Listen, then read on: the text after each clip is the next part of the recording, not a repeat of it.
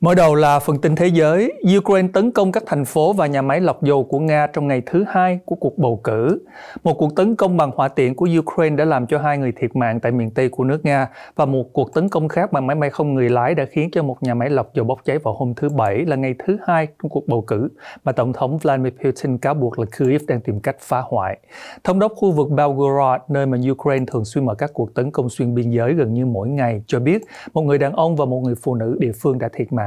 Một đoạn clip do Reuters đăng tải chiếu cảnh đám cháy bốc lên và còi báo động không kích vang lên trên những con đường phố vắng tanh người. Trong khi đó, tại khu vực Samara cách thủ đô Moscow khoảng 850 cây số về phía đông nam,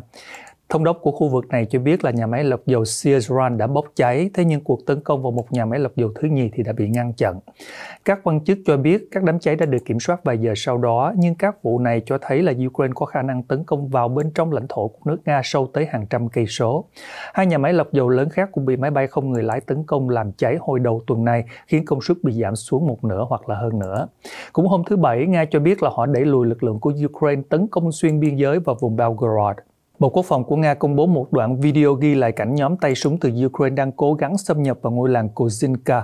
Đoạn video cũng cho thấy ngôi nhà nơi các tay súng này ẩn náu trúng đòn tập kích của quân Nga, cùng với ít nhất là một xe tăng bị mắc kẹt dưới hố. Hai tỉnh biên giới Belgorod và Kursk gần đây đã ghi nhận những vụ tấn công từ các dân quân thân Ukraine, trong đó có nhóm quân đoàn tự do Nga gọi tắt là FRL. Đại diện của nhóm này tuyên bố mục tiêu của họ là tiến về thủ đô Moscow và mở chiến dịch tấn công vào thời điểm mà Nga tổ chức cuộc bầu cử cử tổng thống nhằm gây gián đoạn các hoạt động bầu cử ở địa phương. Ukraine nhiều lần khẳng định là các nhóm dân quân như vậy đã tự mở đợt tấn công vào lãnh thổ của Nga, không hoạt động theo lệnh của Kyiv.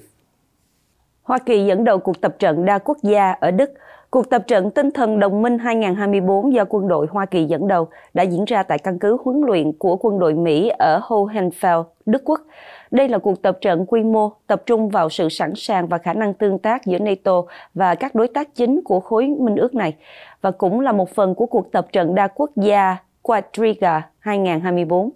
Cuộc tập trận lớn nhất của lực lượng trên bộ của Đức kể từ khi Nga phát động cuộc chiến xâm lược Ukraine.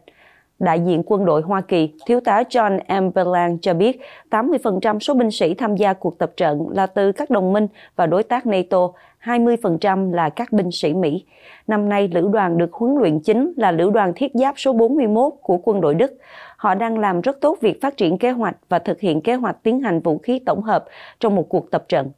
Hôm thứ Năm 14 tháng 3, Tổng thư ký NATO Jens Stoltenberg khi công bố báo cáo thường niên 2023 đã kêu gọi các nước thành viên tăng cường sản xuất quốc phòng để hỗ trợ quân sự cho Ukraine. Ông Stoltenberg nói rằng người Ukraine không cạn lòng can đảm, họ chỉ đang cạn dần đạn dược. Theo ông, các nước thành viên NATO chưa nỗ lực đủ để giúp đỡ Kiev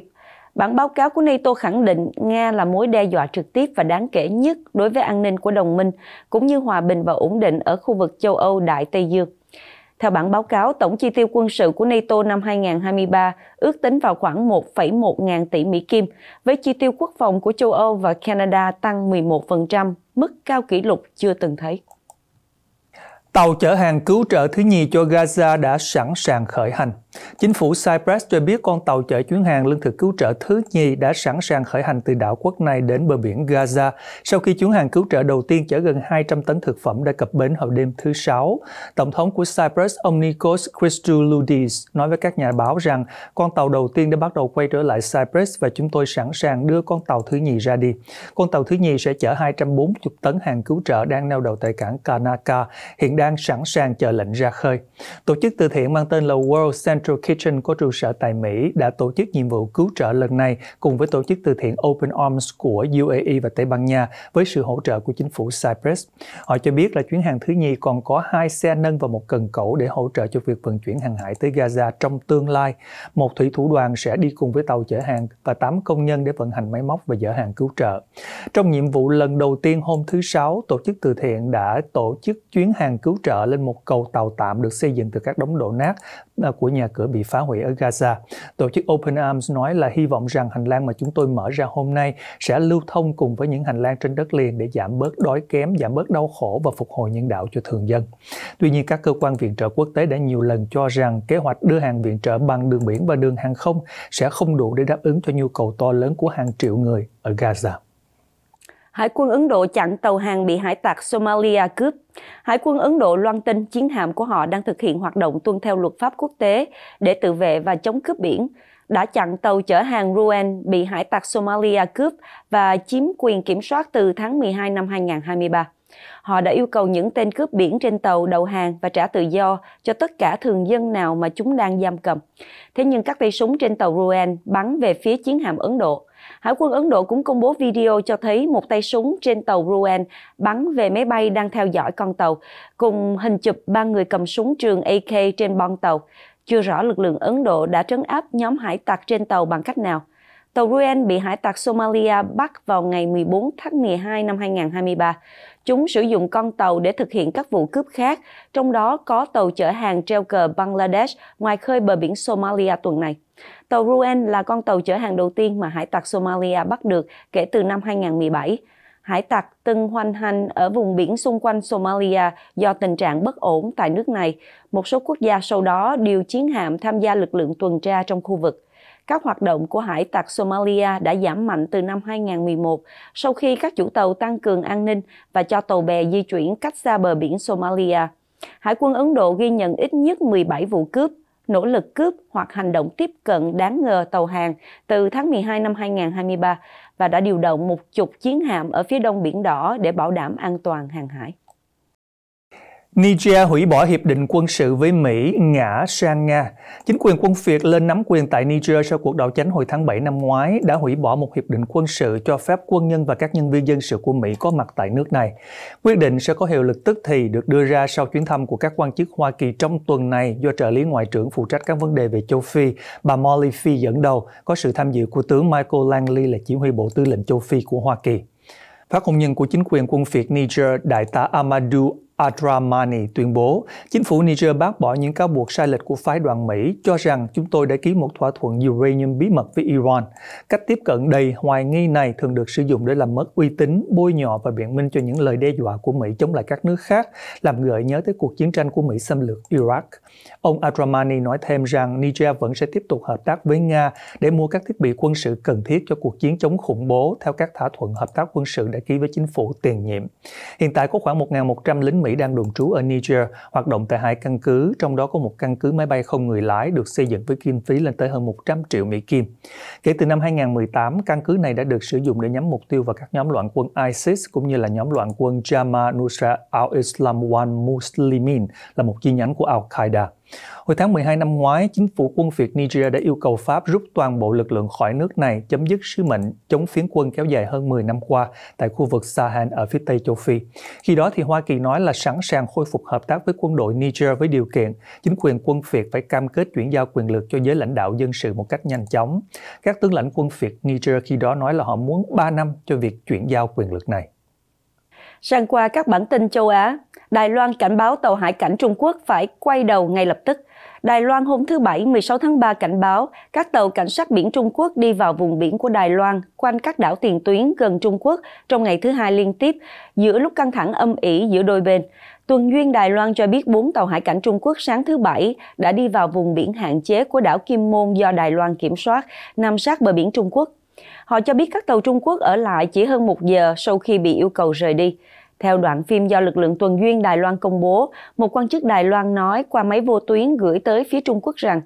các người đã đi vào vùng biển hạn chế của đất nước chúng tôi, vui lòng quay lại ngay lập tức. Cũng trong đoạn phim, người ta thấy một tàu tuần duyên Đài Loan đang theo dõi chuyển động của hai tàu Trung Quốc ở khoảng cách gần. Lực lượng tuần duyên Đài Loan nói hành động này gây ảnh hưởng nghiêm trọng đến lưu thông và an toàn hàng hải. Để tránh gây ra các biến cố trên biển, chúng tôi yêu cầu họ chấm dứt những hành vi như vậy.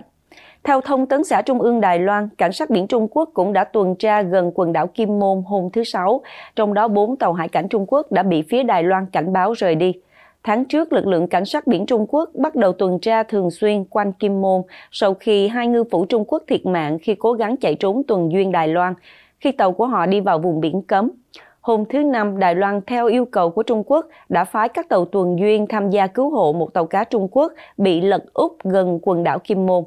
Hôm thứ Sáu, Đài Loan cũng cử một số tàu theo yêu cầu của Trung Quốc để giúp tìm kiếm một ngư dân Trung Quốc bị rơi xuống biển gần quần đảo Mã Tổ do Đài Loan kiểm soát. Một quan chức an ninh của Đài Loan nói rằng Bắc Kinh đang gửi đi những thông điệp khó hiểu bằng cách tiếp tục quấy rối nhưng lại đồng thời yêu cầu Đài Bắc hỗ trợ giải quyết các biến cố hàng hải. Vị này nói chúng tôi thực sự không hiểu. Hôm qua chúng tôi đã cứu ngư dân của họ, nhưng hôm nay họ lại nhe răng và dơ móng vuốt. Kim Jong-un giám sát các cuộc tập trận tác chiến trên không kêu gọi chuẩn bị chiến đấu. Hãng thông tấn chính thức của Bắc Hàn KCNA loan tin Chủ tịch Kim Jong-un đã dẫn theo cô con gái 11 tuổi của mình trực tiếp đến thị sát buổi diễn tập tác chiến trên không và kêu gọi quân đội chuẩn bị cho chiến tranh thực tế. Trong những tấm hình mà KCNA công bố, người ta thấy là ông Kim đang theo dõi cuộc tập trận và gặp gỡ những lính dù tham gia buổi huấn luyện. Bản tin cho hay là họ Kim tỏ vẻ hài lòng với mức độ sẵn sàng tham chiến của quân đội, nhưng không quên nhấn mạnh rằng toàn quân phải tiếp tục rèn luyện để thích nghi với mọi loại địa hình, thời tiết, thời gian và các điều kiện chiến đấu khắc nghiệt khác. Họ Kim nhắn nhủ rằng chỉ có qua rèn luyện thực tiễn tác chiến thì binh sĩ mới có thể sẵn sàng trở thành những chiến binh thực thụ.